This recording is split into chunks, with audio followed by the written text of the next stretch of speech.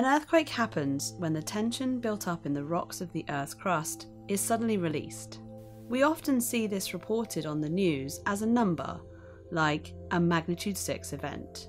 This magnitude number represents the moment magnitude, a scale scientists use to rank how big an earthquake is based on how much energy it produced.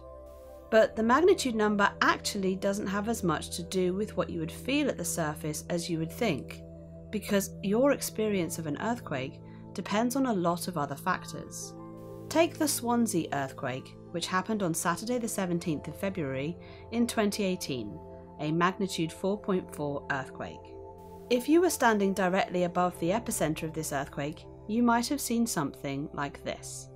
This represents the earthquake's intensity of ground shaking, measured by the European Macroseismic Scale, or EMS. This is an EMS 5. But if you felt the same magnitude 4.4 earthquake 100 miles away in Plymouth, your experience would change, even though the size of the earthquake didn't. In Plymouth, you'd be more likely to see this, which is an EMS 3.